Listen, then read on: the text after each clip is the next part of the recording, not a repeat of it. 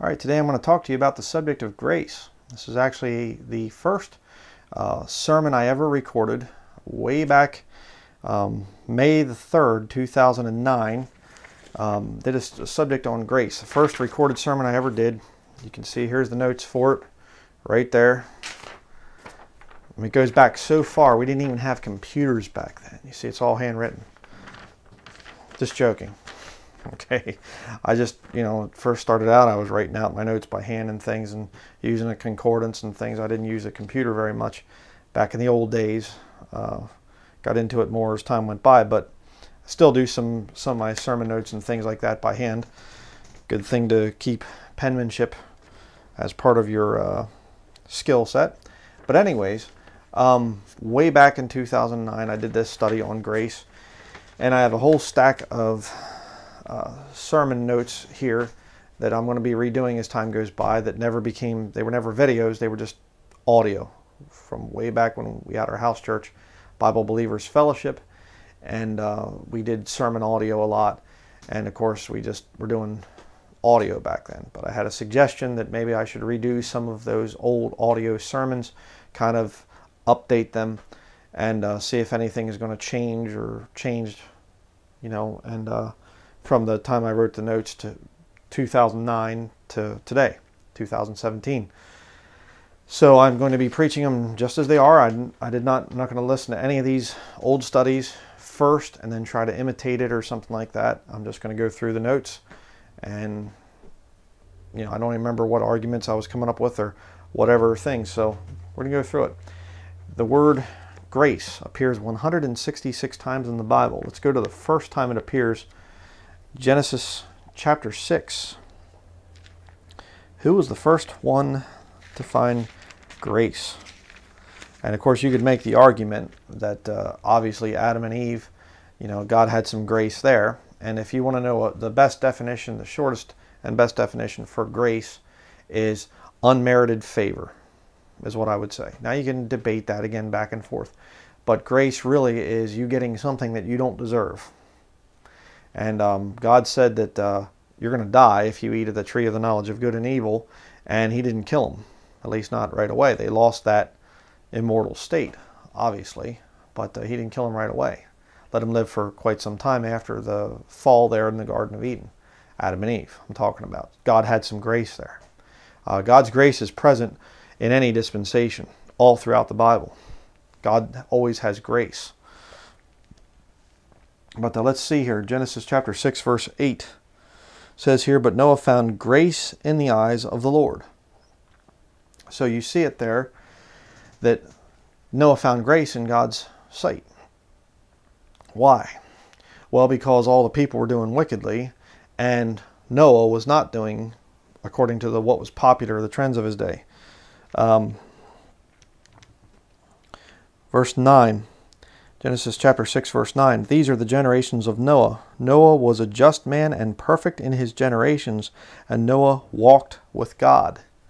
All right, so you see some things there. All right, you see three things. He was a just man. All right, he had, he was honest, he was upright, he was righteous. And secondly, he was perfect in his generations. He hadn't messed around with strange flesh, in other words. Thirdly, Noah walked with God. Now, how do you walk with God? Go to Proverbs chapter 3. The book of Proverbs, chapter 3.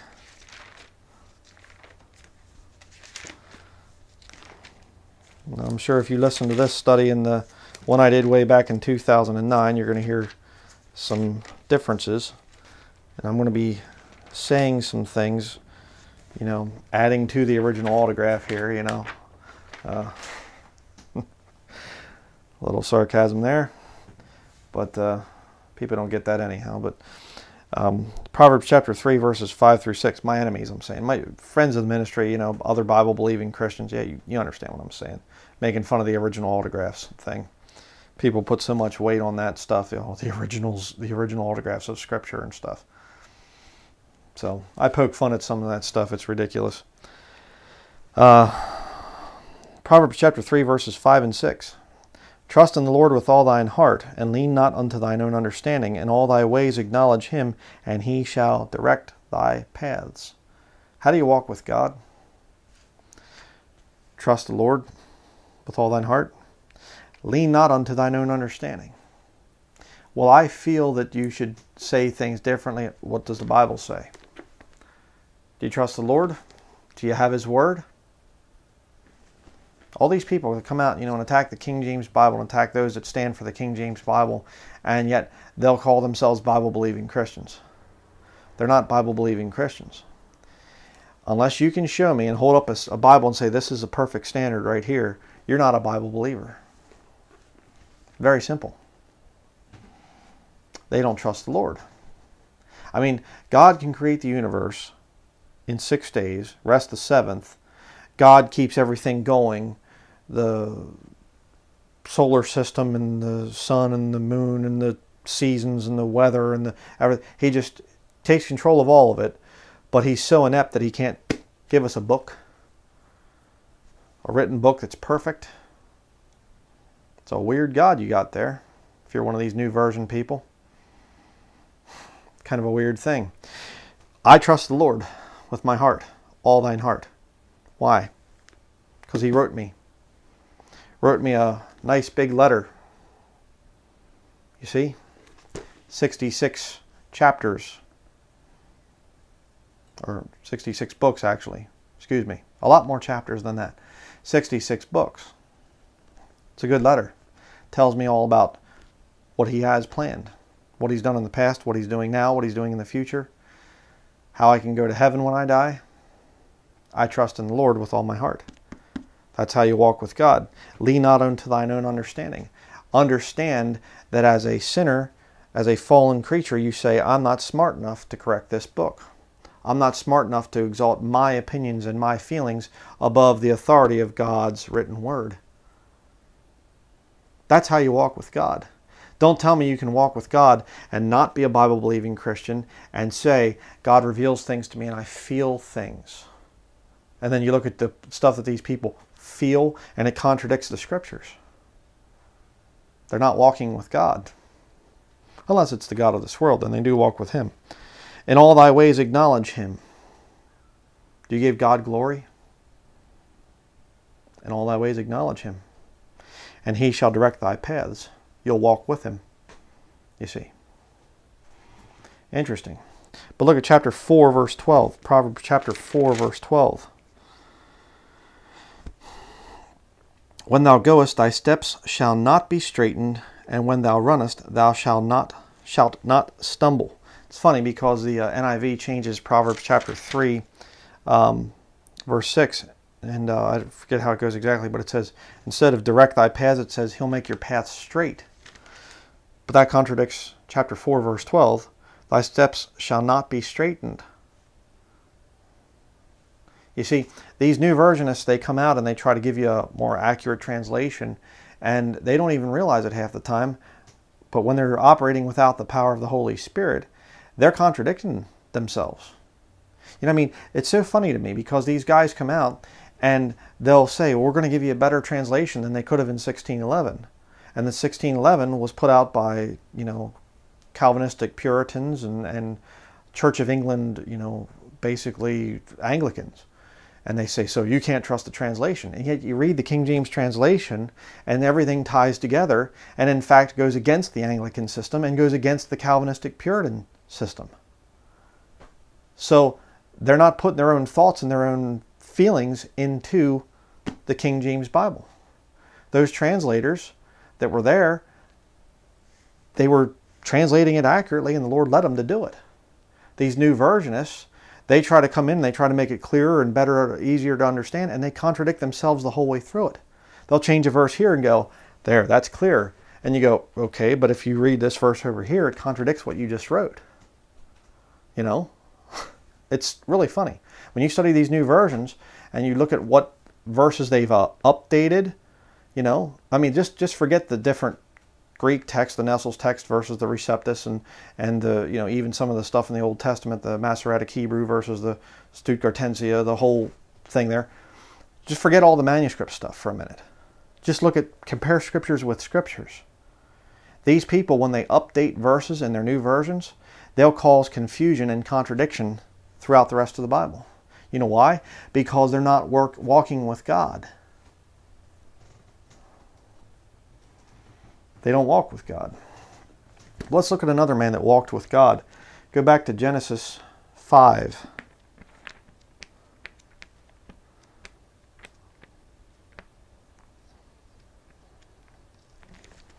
Genesis chapter 5, verse 22 says here, And Enoch walked with God after he begat Methuselah 300 years, and he begat sons and daughters. Now that's like, you talk about a world record. Walking with God for 300 years. You know, I mean, it, it boggles your mind when you think about this, and it's like, you know, I think about stuff in my own life, and I'm just like, man, there's very little time, you know, to you buy, you know, something and, you know, like with what we're going through right now, I buy land and it's like, I'd like to build on there. And I'm going, oh man, I don't want to build that way because I'd take too long. And, you know, I'd, I'd really love to, you know, whatever. But I got like, let's just say I live to be 100, which the Lord's going to be, you know, catching the body of Christ out of here and the whole thing's going to wrap up. Um, you know, church age and all that stuff, the time of Jacob's trouble, and we're going to be in the millennial kingdom, I believe, in 100 years from now. But let's just say, for sake of argument, I'm 42 years old right now. Let's just say I live to be 100 years old, which is pretty rare nowadays. When you look at the vast majority of people, there aren't that many that make it to 100. But let's just say I make it to 100 years. Okay, that gives me what, 58 years left? You know, that's not much time. But you get these guys back here pre-flood and they're living like, you know, 900 plus years. And I think to myself, you know, 100 years is just like, you know, I mean, that's just, that's nothing. That's like, you know, a tenth essentially. You know, we'll say it this way, a ninth of, of the life that these people are living. What could you get accomplished in 900 plus years? It's really something. But here you had Enoch, and he walked with God for 300 years. I mean, I, can you even fathom that? I mean, just stop and think about that for a minute. You know, and and the temptations that'll come upon you as a Christian sometimes, and you just go like, oh, Lord, I don't know how much more of this I can take, you know, and it's just like, and Enoch was there before the flood, so you know, I don't, maybe it wasn't really, really, really horrible like it was in Noah's day, but you know, it's like he was still seeing some of that that evil and wickedness and whatever else. I mean, you got people that are walking around 900 years of sin. That's pretty incredible. But let's continue. Here's some interesting things about Enoch. Verse 23. And all the days of Enoch were 360 and 5 years. I think that's interesting because a Jewish calendar does not have 365 days in it. But a Gentile calendar does. Hmm. Interesting. And Enoch walked with God, verse 24, and he was not, for God took him. And of course, you understand that Enoch was caught away before God's wrath and judgment came down on the earth. It's a beautiful picture of how the bride of Christ, the body of Christ, is caught up before God's judgment comes down. Noah is there, but he goes through the judgment. God preserves him through the flood. Enoch is called out before the flood. Kind of an interesting thing, a very interesting picture of uh, Christians being like Enoch. They please God, they walk with God, God takes them. And Jews in the time of Jacob's trouble, being like Noah, and they're taken through it, but preserved. Very interesting thing there. Matthew chapter 24.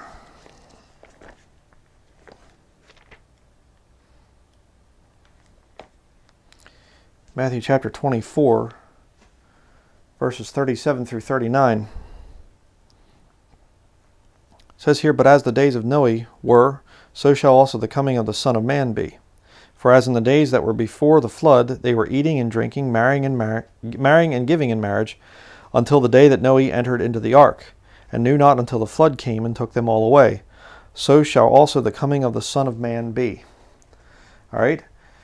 Uh, as we are rapidly approaching the time of Jacob's trouble, we're going to see more and more wickedness and things like Noah saw in his day. And you know, I saw this thing. You know, the, these these Mandela effect funny bunnies. You know, we answered the whole thing. It was it's a witch, uh, Fiona Broome, that brought this whole Mandela effect thing out. It's a spell that people fall under, and they say, "Don't you remember the Bible used to say such and such?" And they'll put that in through power of suggestion, and they just keep saying, eh, "Remember it? It said that.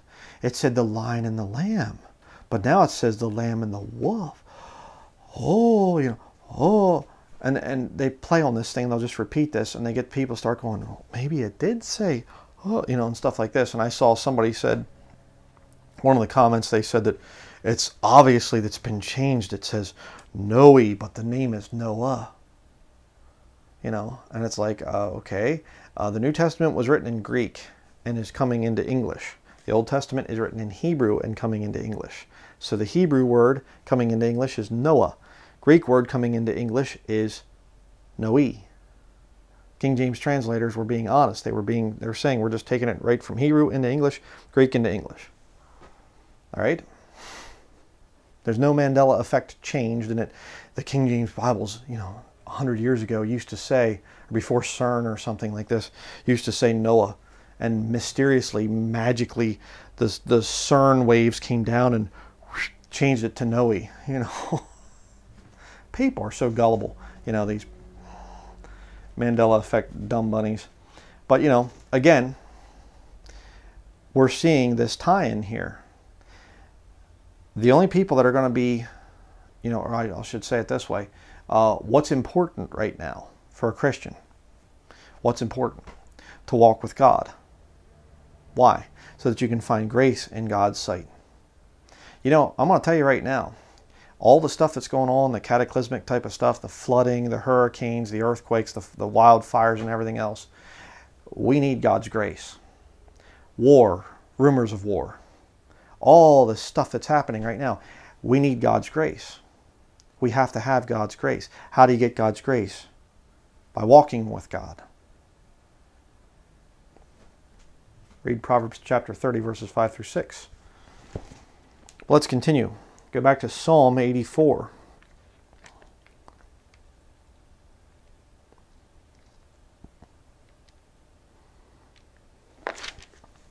Psalm 84, verse 11 through 12. It says here, For the Lord God is a sun and shield. The Lord will give grace and glory. No good thing will he withhold from them that walk uprightly. O Lord of hosts, Blessed is the man that trusteth in thee. Hmm. I mean, all the terrorism that's going on and, and the, all the natural disasters and all this other stuff and everything else. Do you trust God to get you through it? Do you trust God to protect you? And you know, oh sure, brother Bryan, was it stuff hit your area yet? You know, I mean, it's easy just to go, yeah, when you got food in your stomach and clothes on your back and you're sitting there in front of your computer and everything's just kind of nice and whatever else. But you know, I get stuff from brethren all the time. And it's just like all of a sudden, um, you know, I'll just, just going to give a name, a brother, friend of the ministry here, and as you can, just a request prayer for him, uh, Brother Jeremy Clark, Eternal Redemption Channel. And uh, there's a chance he's going to be losing his job and he's just like, I don't know what to do, brother. I know. It, it gets weird at times, you know, and you say, Do you trust the Lord? And you and you're like, Yeah, I do, but you know, it's like I'm like, you know, it's like you're on a train, it's like the, the brakes are out and the bridge is, is going up front and you're going, uh, okay, Lord, you know, I'm going to be crashing here soon. What do you got planned? You know, can you kind of make things happen. Mm-hmm. You'll go through those times as a Christian. I've gone through those times. The Lord will test you. He'll allow you to be tempted, but He'll make a way to escape that temptation, by the way. But those times are going to come into your life. Why? Um, first of all, His grace is there to provide for you, but He wants to see if you, uh, He wants to give you a blessing if you trust in Him. So please, you know, if you're out there, please pray for Brother Jeremy. Um, you know, as he's, I mean, possibly losing his job, just pray for the Lord's will there. I know uh, there's been times I've I've uh, lost jobs and things like that, and, and it turned out later on to be the greatest blessing. But boy, it's hard to see that at times. And I mean, you know, I I'm in contact with a lot of people, and there's a lot of you that are struggling hard. You got things that you're going through and, and stuff, and it's just like, oh Lord, I don't know what's going on here. But you got to learn to trust Him. Interesting. Uh, next, we're going to look at um, some other verses here quickly. The thing of uh, Paul. Um, it's interesting because all the Pauline epistles, every single one of them begins and ends with grace. Let me show you. Go to Romans. Unmerited favor that comes from God.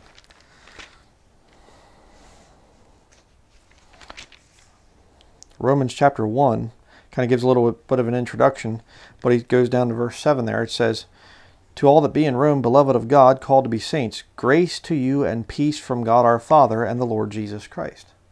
Grace and peace come from God to the body of Christ. Unless, of course, you're a posty toasty, post tribber, because then you believe that uh, peace actually is taken away from God. According to Revelation chapter 6, peace is taken from the earth by the same one who promised to give you peace. It's kind of an issue. Go back to Romans, go back to the end of the book of Romans, and we'll see here it ends with grace.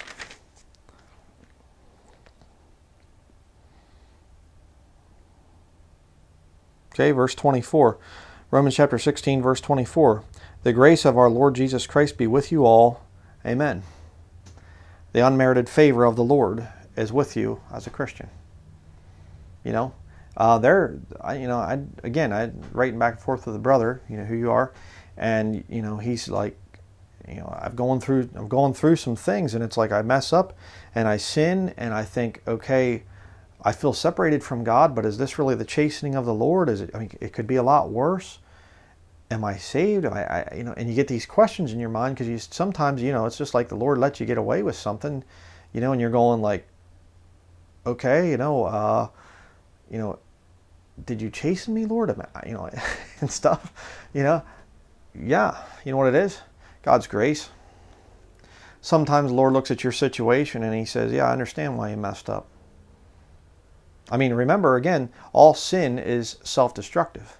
The wages of sin is death all sin leads to your premature death, to your hurt. There's nothing that you can do that's called sin in the Bible that's going to be positive for you.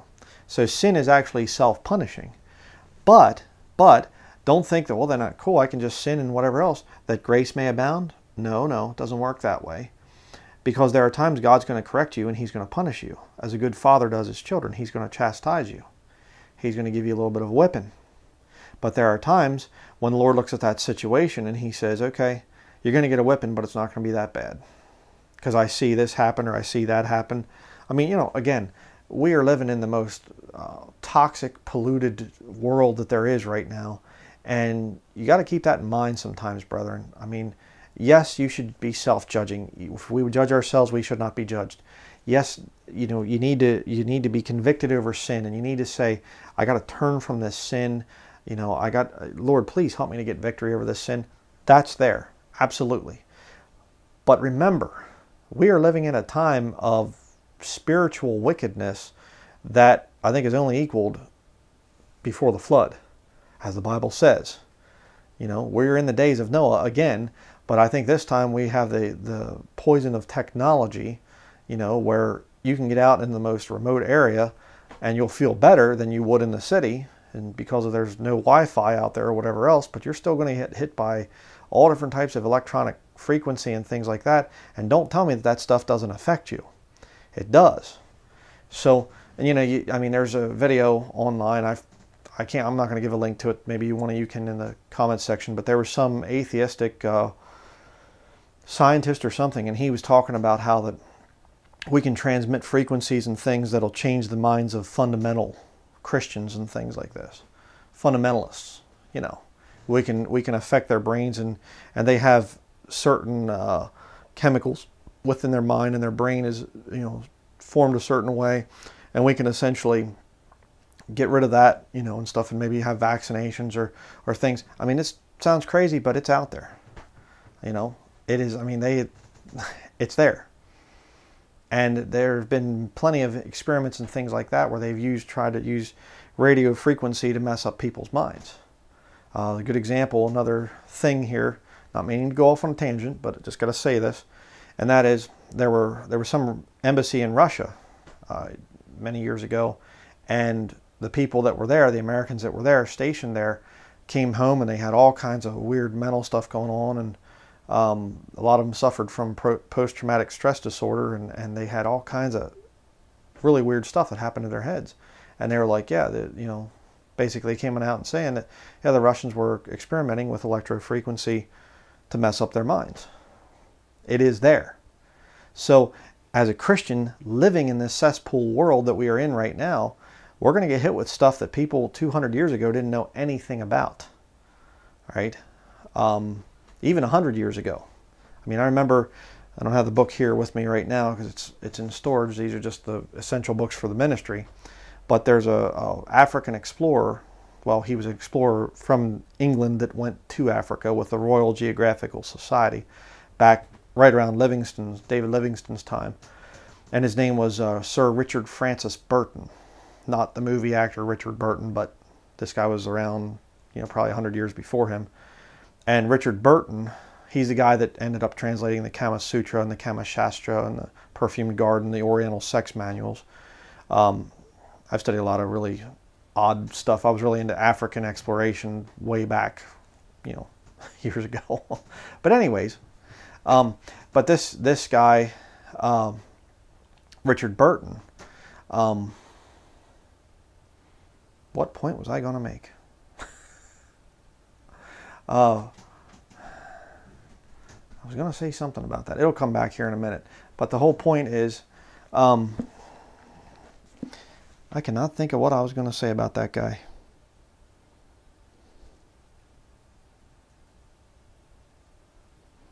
I don't remember. Uh, nuts. I hate it when that happens. If I remember, I'll say it again.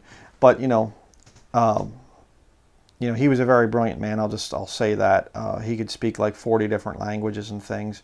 Um, very, very, very intelligent man, and uh, you know, lived at a time when there was really no pollution and things like that. Of oh, I know what it was. I know what it was. Excuse me. Okay. Thank you, Lord, for bringing it back. He, when he first came out with these Oriental sex manuals that are now, you know, I mean, I've heard of Christian, professing Christian couples that'll read this stuff on his Oriental sex man, manuals and things. And when he first came out with it, he had to bring it out in Latin because if he would have brought it out in English and published it over in England, he would have gone to prison for it. This is, you know, 1850, 1860, somewhere in there. Maybe even a little bit later than then. I mean, it's, you know, documented history.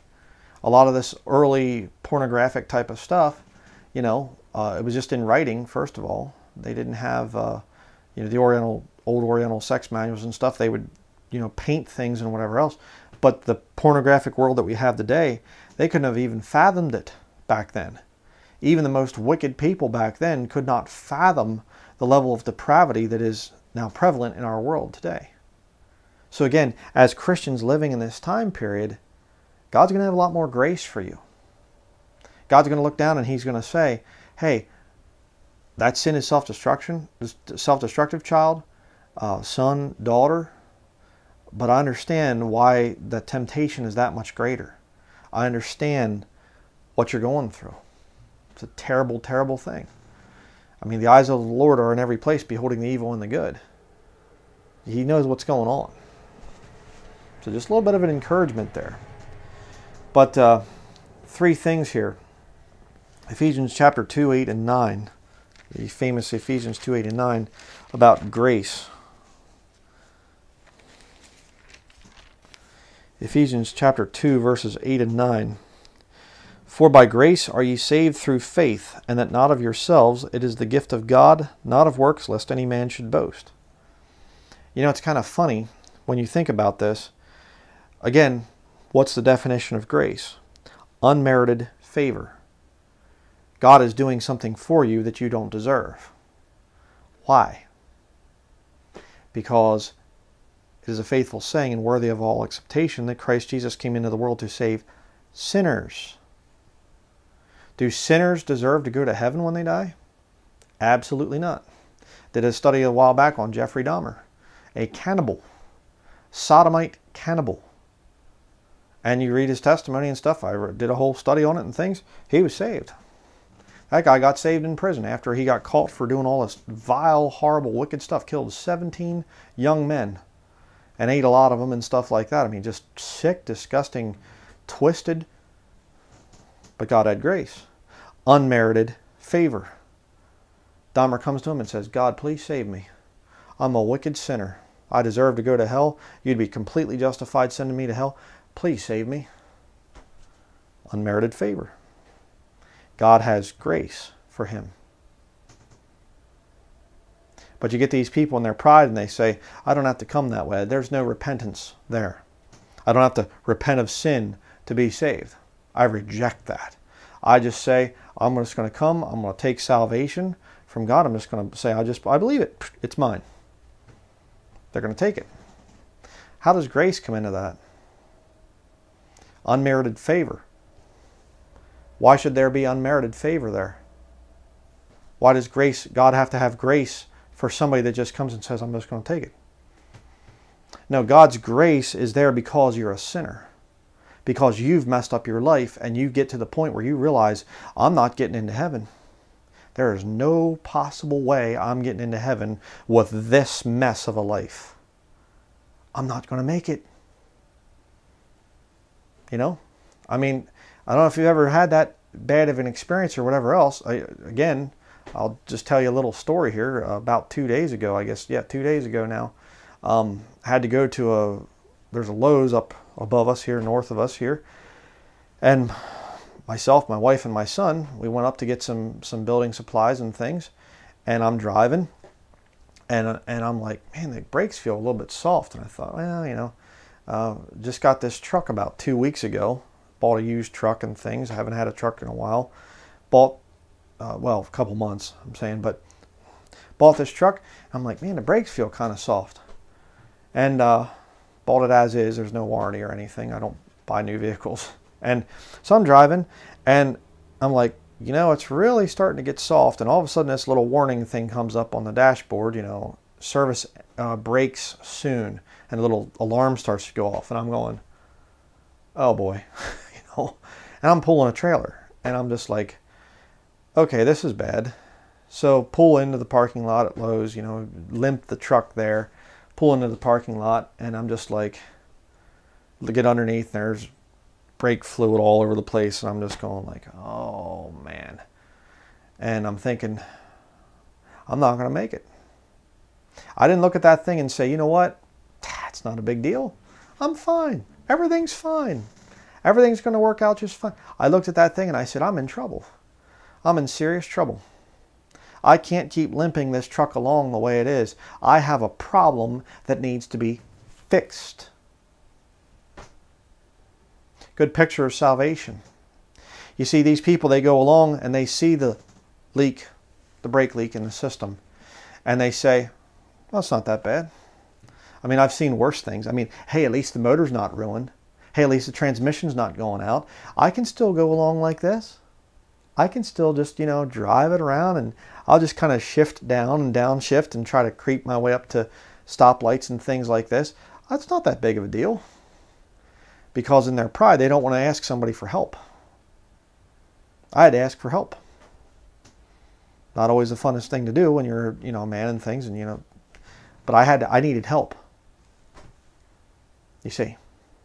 I came to a place as a sinner where I realized I'm not making it. I'm going to fall short here. I'm not going to make it into heaven on my good works and my good life, and I'm not that bad of a person. I have a serious problem here. And I came to the Lord and I said, God, I can't make it. I'm not going to make it. Would you have enough grace for me? Unmerited favor for me? Would you have enough grace for me to save me, please? You see? That's salvation. So we're saved by grace. What's another thing? God gives it to humble people. Go to James. James chapter 4. Verse 6. Actually, we'll start in verse 5. Do ye think that the scripture saith in vain, The spirit that dwelleth in us lusteth to envy? You know, what a terrible thing to say about people. The spirit that's in you as a lost person is no good. Well, I'm not that bad. The Bible says you are bad. The spirit that's in you lusteth to envy. You're not content. You have to be better. You have to have something better. You have to think that you're great. In your self righteous pride, you can't come low and say, hey, you know what? I'm useless. I'm a sinner. The spirit that's in you is no good. You better replace it with the Holy Spirit. Verse 6 But he giveth more grace. Wherefore he saith, God resisteth the proud, but giveth grace unto the humble. Hmm. God resisteth the proud, but giveth grace unto the humble. You know, the most humbling experience is when you realize you have a problem and your pride is abased. You're driving, you're cool in your vehicle and everything else. You know, you're driving around. I got things worked out, going to get some construction materials. Yeah, that's right. Brake pedal just went to the floor. Bing, bing, bing, bing, bing, bing. Warning light comes on. And you go, uh oh um, uh, uh, all of a sudden you're not so cool anymore. All of a sudden you're looking pretty stupid. Okay? Your uh, fluid's blowing all over the place and things, it's leaving big trail of brake fluid where you're going. When you push on the brakes, you know, you need help. You know what most people do when they come to that situation? Spiritually speaking, they'll patch it up and keep driving some sin comes out. They'll watch some video or they hear some sermon or they look down and they see some kind of tract sitting there like that and they look at that thing and they go, it's a gospel tract. Oh no, you know. What do they do? They patch it up. Well, I'm not that bad. Whoever put that down, they're a sinner too, you know. I mean, that, that preacher had no right to say that to me. That, that, that wasn't right. He, he said that thing and I'm, I'm mad at him and, and he, he shouldn't have said that. That that you know that's personal. Who is he to judge me anyhow? They're patching it up. They're patching up their problems. God resisteth that proud person. Self-righteous pride is going to damn every single person that goes to hell. It's because of self-righteous pride. Say it that way. Every single one of them. You don't go to heaven as, or excuse me, you don't go to hell as a humble person. Everybody that ever went went there because of pride. What's the Bible say about Satan? He's a king over all the children of pride. Ye are of your father the devil, and the lusts of your, fa your father ye will do. Hmm. Pride. I don't need God. I don't need this salvation stuff. I'm not that bad. Things are okay. I'll just patch this up and be on my way.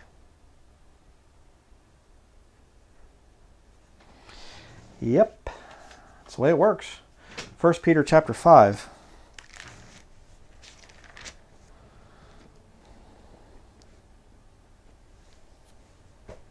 First Peter chapter 5 verse 5 Likewise ye younger submit yourselves unto the elder. Yea all of you be subject one to another and be clothed with humility. This is talking about saved people. James chapter 4 there was talking about lost people. Now they're talking about saved people you say, well, God has different standards, you know, because we can get saved and then we can just go on in our pride. It's so funny because, you know, I, will hear these people, they say, I'm, you know, I had some Wingnut Anderson follower and he said, he said, I'm a proud, his exact words, I'm a proud non-dispensationalist. Like, okay, do you realize what you're saying? you know? For God resisteth the proud and giveth grace to the humble. Hmm. Interesting, isn't it? God will resist the proud, even if you're saved. You get to the point where God, you know, shows you that you're prideful in some way. You better get that thing, you know, you better repent of it and uh, get it forgiven quickly. God, please forgive me for that. I've had to do that a couple times. More than a couple times. you know, there have been times I've been very, very prideful. There have been times in my marriage I've been prideful. There have been times in my relationships with other Christians I've been very prideful. And I've had to, to swallow that pride sometimes and come back to that person, go to my wife sometimes and just say, you know what, I'm sorry. I've been struggling with pride on this issue. I will admit to that. And, you know, people say, oh, well, you know, you haven't admitted it. Well, because if your stands are wrong, I'm not going to submit to your stands. You know, I'm not going to change my beliefs on this King James Bible. This is God's perfect word. I'm not going to change my beliefs on repentance that leads to, you know, God's grace, and faith coming down to save you. I'm not going to change that. Repentance towards God and faith toward our Lord Jesus Christ. I'm not going to change that. I'm not going to change my beliefs on the rapture, the timing of the rapture being before the time of Jacob's trouble. I'm not going to change on that. There's a whole lot of stuff I'm not going to change on. It doesn't make me prideful. It just makes me say, hey, I know what the Bible teaches and I'm not going to back down. But when you see these people and they are looking and, and they're wrong, they're clearly wrong, and they refuse, they're just, no, I'm a, and, and they'll actually use the term. It cracks me up. They'll say, I'm a proud post-tribber. I'm a proud user of the NIV. I'm a proud non-dispensationalist. It's kind of a problem. Go back to Romans chapter 12. Grace is something that we need to have towards other people. I have just Romans chapter 12, so I guess my original sermon, I read the whole chapter. 21 verses. Not that many. Let's go through these. Romans chapter 12, verse 1. I beseech you, therefore, brethren, by the mercies of God, that ye present your bodies a living sacrifice, wholly acceptable unto God, which is your reasonable service. It's an interesting thing there. I was thinking about this. You know, uh, the verse that talks about they that are Christ have cru- they that are Christ's have crucified the flesh. You know, and you don't think about that. And here it says about present your bodies a living sacrifice, and you know, it's like we don't really think about the, the mental image of that, the, the picture of that. We think about how Jesus Christ suffered on the cross, and then it's like, wow, he really went through a lot. Uh, well, brethren, that same picture is given to us of how we should treat our flesh. You crucify it. It's it's a it's a fighting thing. It's a it's a thing. It's war. You know, it's it's two men on a on a field of combat with knives and they're jumping at each other, lunging, trying to kill the other one. That's the picture of our spirit and our flesh. Your flesh says, "Hey, I want to I want to watch that movie. Let's just click on that video. Come on, it's not a big deal. Let's listen to this music. Let's eat this kind of stuff that you know you shouldn't be eating. Let's whatever. Say the kind of things that you shouldn't be saying. That's the flesh. The Bible says that you're to present your body a living sacrifice. You're to kill that crucify it. I mean, what a picture.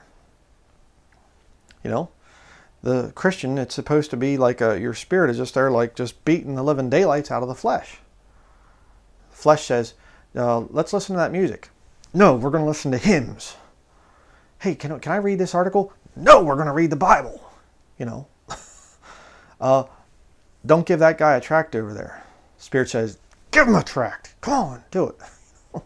Well, I, I got to get going. I'm, I'm going to be late here. I can't put a tractor. You put that tract there or you're going to be in trouble, you know. What a thought. I'm thinking about that. That's, you know, thinking about that for another study, but I'll just put it in here. But uh, verse 2 And be not conformed to this world, but be transformed by the renewing of your mind, that ye may prove what is that good and acceptable and perfect will of God. Nonconformity. Very, very important. Extremely important. Not going to say much more on that for sake of time, but verse 3 For I say through the grace give it unto me, to every man that is among you, not to think of himself more highly than he ought to think, but to think soberly, according as God hath dealt to every man the measure of faith. For as we have many members in one body, and all members have not the same office, so we, being many, are one body in Christ, and every one members one of another. You'll see this theme presented throughout the New, the New Testament, the Pauline epistles, that we are one body. So these people, they'll say, Where do you go to church? How can I go to some place that I'm in all the time? You know, I like to reply back to them. You know, I say, uh, Well, I'm actually in church seven days a week, 365 days a year. How about you? But uh, they don't usually answer that. Oh, I, I know what you mean, but, uh, you know. yeah. Uh, verse 6 Having then gifts differing according to the grace that is given to us, God gives you not only grace to get saved, but He also gives you grace. He has grace, unmerited favor, that He gives you gifts. Uh, very interesting here. Whether prophecy, let us prophesy according to the pr- proportion of faith, or ministry, let us wait on our ministering, or he that teacheth on teaching, or he that exhorteth on exhortation. He that giveth, let him do it with simplicity. He that ruleth with diligence, he that showeth mercy with cheerfulness. Let love be without dissimulation. Abhor that which is evil, cleave to that which is good. What is dissimulation? Dissimulation is basically fake hypocrisy. Okay? So you're not supposed to love people with dissimulation. Don't be a hypocrite with your love, in other words. You know, I'm going to talk more about the, that here in just a little bit the thing of having grace for the brethren. Verse 10 Be kindly affectioned one to another with brotherly love, in honor preferring one another, not slothful in business, fervent in spirit, serving the Lord, rejoicing in hope, patient in tribulation, continuing instant in prayer distributing to the necessity of saints, given to hospitality. Bless them which persecute you, bless and curse not. Rejoice with them that do rejoice, and weep with them that weep. Be of the same mind one toward another. Mind not high things, but condescend to men of low estate. Be not wise in your own conceits. Recompense to no man evil for evil. Provide things honest in the sight of all men. If it be possible, as much as lieth in you, live peaceably with all men. Dearly beloved, avenge not yourselves, but rather give place unto wrath, for it is written, Vengeance is mine, I will repay, saith the Lord. Therefore, if thine enemy hunger, feed him. If he thirst, give him drink. For in so doing thou shalt heap coals of fire on his head. Be not overcome of evil, but overcome evil with good. So you want to know what you should be doing as a Christian right now. You know, a lot of us, again, you know, I, I remember somebody wrote in one of the comments, I thought it was so good. They said, I'm having one of those uh, wish it was the rapture day days. You know, uh huh, yeah. Uh, you're going to have those days where you just think to yourself, oh Lord, can you please just catch me away for you know? You don't even have to do the whole body of Christ, just me. You know, just just take me home, please. You know, you're going to have those days. But you see, there's a purpose for you being here in this world. You're going through some rough thing. You're looking at losing your job. You're looking at having issues and things that you're struggling with, and you're struggling with some sickness, you have other problems, uh, there's a reason why you're supposed to be here on this earth. You say, what's that reason, brother? Romans chapter 12. Romans chapter 12 tells us what we're supposed to be doing with our time. Now, you don't have to do all those things. It's just describing the body of Christ and how that there's different gifts that God gives you according to his measure of grace. You can find something to do in that list. You can exhort a brother or a sister. You can, you know, uh, be kindly affectionate one toward another, in honor preferring one another, not slothful in business, fervent in spirit, serving the Lord. You know, I mean, just go down through the list. And I will say this uh, as time goes on, uh, things are def- definitely getting a lot worse out there and uh, the grace that God has for people is starting to fade. Uh, it's it's really an interesting thought when you go out there in this world and and it's just like you see such wickedness and things and you think to yourself, you know what? I'm literally looking at people that more than likely in a few years these people are all going to be taking the mark of the beast. I mean, I'm standing, you know, I had to go to a garage to get my truck fixed just to kind of give you a little bit more of the story. And I'm standing there and this woman comes in, you know, and uh, she's in the waiting room and she's picking up her vehicle, and she comes in and and uh, you know the guy's saying, yeah, your car's ready, Mrs. Such and Such, and and everything else, and, and it's going to be, he gave her the amount that it's going to be, and she goes, okay. And she looks down at the credit card machine thing there, and she goes, does it have a chip reader? And I'm just like, you know, does it have a chip reader? And I'm thinking, you know, mark in the hand. These people are so close to it, you know. And, you know, there, there's been times that I've, you know, you try to talk to people like that and they just look at you like you're from some other planet or something, you know. And it's just incredible how close we're getting to this whole thing happening. And, you know, it used to be, I mean, you know, I did a study years ago on the thing of Thanksgiving. And when America, right around the Revolutionary War time period, when they celebrated Thanksgiving, it was actually a day of fasting, not a day of indulgence, not a day of eating. And you know, that you go back to some of the early founding fathers, and there was issues there. I'm not saying that there was no Masons or whatever else. Uh, there definitely were some issues with George Washington and a lot of the other founding fathers. But these guys were calling for national days of prayer and fasting. And they weren't going through the kind of stuff that Americans are going through right now. But you get this concert shooting out there in Las Vegas, you know, here just the other day, and this guy kills 59 people and like 500 something are wounded. And it's just like, where's the turning from sin? Where's the national repentance? Hurricane Harvey hits Texas, all kinds of people losing their homes. Where's the repentance? Other hurricanes there wiped out Puerto Rico. They're having all kinds of problems and stuff, and and uh, all these other islands just completely just wiped out. Florida gets hit. They're they're having trouble and stuff. Where's the repentance? Where's the national repentance? Where's the country falling down on their knees and saying, God, please forgive us for our wickedness? Where's the desire to repeal the sodomite marriage laws and the transgendered can use, perverts can use whatever bathroom they want? Where is it? What's going on? Uh, God's going to be resisting the proud.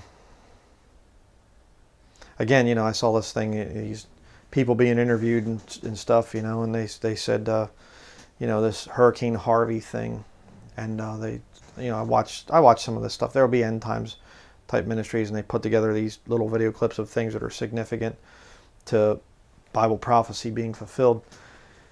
And uh, I remember this one, and they were showing these people down in Texas, and they were like, you know, what do you think after this, you know, hurricane and stuff? And they were all like, we got this. We're Texans. We're tough. We're proud.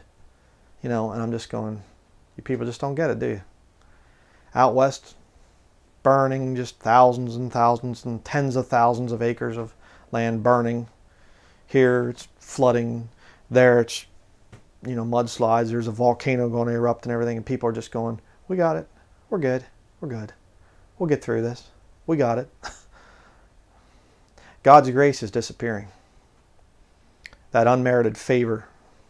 I don't care when you lived or how good a person you are, nobody has the respect of God. Okay? Nobody can say they're walking around on earth and God looks down and says, well, everybody's sinners except for that person. nope. Not going to happen. We need God's grace. And uh, that time of grace is going to be disappearing. And uh, this world is heading into the worst time period ever.